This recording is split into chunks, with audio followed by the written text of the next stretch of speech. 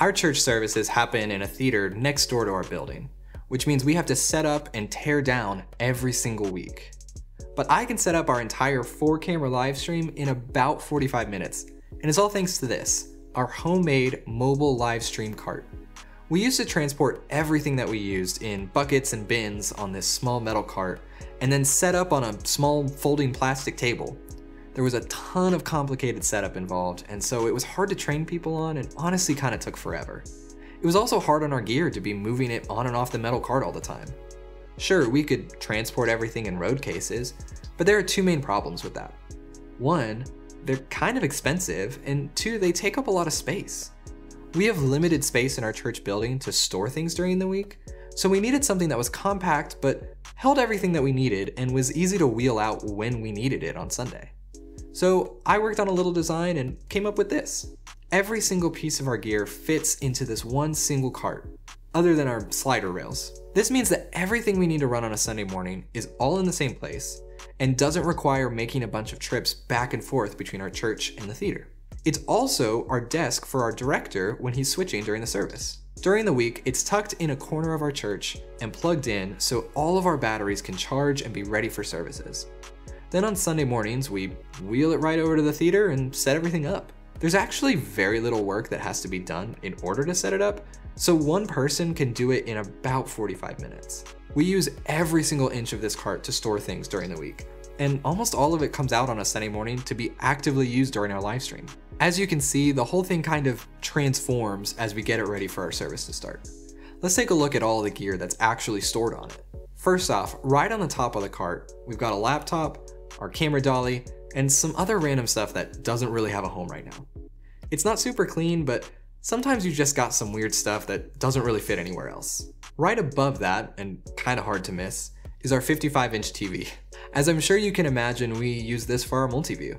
To hold it up there, we've actually just got a couple of 2x4 studs coming out of the back of the cart, and then just a normal TV mount holding it up. We've also used this space to fasten a few things, such as some excess cabling and our Wi-Fi router, just to make sure it's pretty high and that it's facing the stage where all of our tally lights are. Next to this, you can also see we have a small monitor on a swiveling monitor arm. This allows us to swing it out to the side on Sunday mornings, but pack it in tight when it's in storage. We use this monitor for our secondary multi-view coming out of our ATEM Mini. Over here is the section that holds our tripods. It's vertical and open air since the tripods are actually taller than the cart. And we used to have more than one, but we've changed our setup a bit, so now there's just one. Alongside it, we also store all the clamps that hold our dolly track to the railings. We also store a folding table in here that we set up next to the cart as a camera op staging area to hold their cameras, their belt packs, and headsets and whatever. We didn't really want this to be wasted space once everything is unloaded though, so I actually designed it so the tabletop folds back down over it and extends our workspace. This gives us some extra room during the service, but also lowers the footprint while the cart is in storage. This little section here just has a set of three drawers to hold odds and ends, you know, lens caps, bongo ties, extra batteries, pens, screws, tools, SD cards, you know, all the random things you need when you're working on a production with cameras. Right below that, we've got space for all of our long SDI cables that we run to each of our four cameras. We keep them spooled up nice and clean, and they all fit in here without too much trouble as long as you coil them up right. We actually used to run our live stream off of vMix that was running on a desktop PC, and this section was sized perfectly for that computer. After we moved to the ATEM Constellation, we didn't really need that computer anymore, but we were able to repurpose this section of the cart since it's just about the perfect size for all of our cables.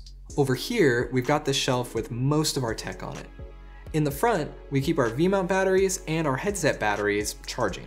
In the back, you can see our ATEM Constellation, our ATEM Mini, our network switch, and a Raspberry Pi running Companion. If you don't know about Companion, check out this video on how it can make your life so much easier while live streaming and controlling all of your gear. You may notice this shelf is pretty bright compared to anything else we looked at yet.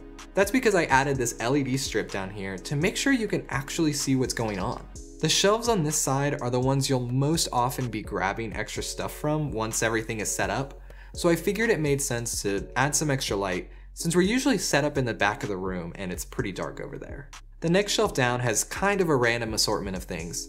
It's where we keep our audio mixer during the week, but also our Eartec headsets, our camera belt packs, video on those is up here, and a basket of random accessories. This bottom shelf is my favorite one though.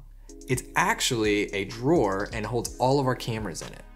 It slots right in here in the bottom shelf, and so when you pull it out, you get an extra shelf to work with during the service. Not only that, but when you flip this box upside down, it actually becomes the platform that our follow cam operator stands on while operating that camera because it's kinda high in the air.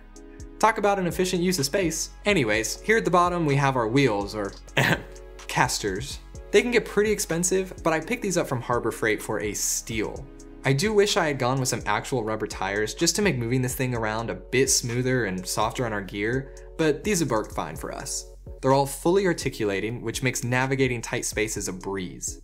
They're also locking because we don't want our cart to move anywhere when we're furiously directing on a Sunday morning. So that's the layout of the cart. Every piece of tech that's on here stays wired up, and then we've just got a couple of power cords that hang out the back that we plug into the wall whenever we arrive at our destination. That turns everything on and gets us ready to go.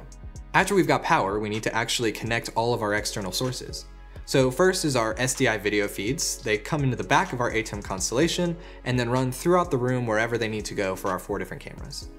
After that, we run a snake to the tech booth that has our left and right audio channels. Those plug into the soundboard there got an HDMI cable to connect to our presentation computer running ProPresenter, and an ethernet cable to hook into the theater's network. If you want to see a complete rundown of the tech we use and how it's all connected, check out this video up here. Some things may have changed since then because we're always trying to improve our live stream, but it'll be pretty close to what we're running today. The card itself is honestly a super simple build. It's a basic frame built using 2x, and then the whole thing is covered up in 3 quarter inch ply, it's super sturdy and we've been using it for about two years now without a single problem. We've made a lot of changes over the years though. I mentioned that we used to be on vMix, so the organization of all our gear was a bit different than it is today. But as our gear changed, we needed access to different things, we needed more power, more cables run a little bit differently, etc. But one of the perks of this being completely DIY is that I've been able to cut holes in it where we needed, fasten things wherever we needed, and really just make sure that this is the perfect solution for all of our wants and needs. Not only that, but it's a fraction of the cost of something that would have this much utility if we were to try to buy it or commission it outright. If your church also sets up and tears down and you think you'd benefit from something like this, I would just urge you to sit down, decide on your needs, and design something that meets them while also giving you some room to grow in the future. And if you have any questions, feel free to drop them in the comments below. I would love to hear about you and hear about what you're doing with this. Until next time.